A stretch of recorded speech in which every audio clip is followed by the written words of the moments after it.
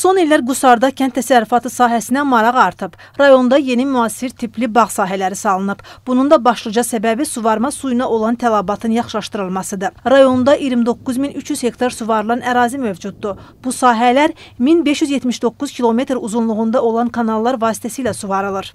Kanalların 1381 kilometri torpaq, 187 kilometri isə beton məcralıdır. Yəni bu beton üzlük çəkilmə işləri hələ davam olunur.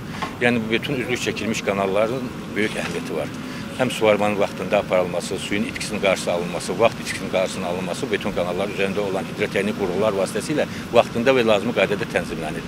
Ona görə də hal-hazırda bütün torpaq kanalları lildən təmizlənib, beton kanallar üzərindəki hidrotexnik qurğular saz vəziyyətə gətirilib, fermerlər, sahibkarlar, kənd cəmaəti hamısı bu saat normal qaydada suyun suvarılmasından istifadə edirlər. Qusarda torpağın 30%-ə qədər hissəsi Çağar-Cibir kanalının baş qurğusu hesabına suvarılır. 1968-ci ildə istismara verilən kanalın baş qurğusunda yenidən qurma və tikinti işləri aparılıb. Nəticədə yay aylarında Qusarçayda suyun səviyyəsi aşağı düşsə də təsərrüfata suyun ötürülməsi mümkün olacaq.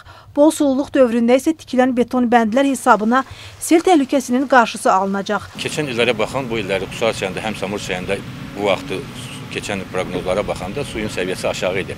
Bu ilə şükür olsun ki, həm dağda qar ehtiyatımız çoxdur, həm də ki, vaxtında su gəlib, artıq növbə şəklində biz suyu fermerlərə vaxtında verə bilirik. Həm də ki, bu saat əkinlərə intensiv bağlar fermerlər tərəfindən, sahibkarlar tərəfindən damcı su ilə suvarılır. Bu da bizə çox böyük kömək dəyir ona görə ki, həm su itkisi olmur, həm də ki, onların böyük obyomda, böyük həcmdə su anbarları, su gölləri var. Onlar gecələrlə doldururlar, əhali gündüzlər suyu verir, gecələr fermerlərə suyu verir ki, onlar səhər həmin yığdıqları su ehtiyatından tam mənasında öz bağlarını suvara bilirlər.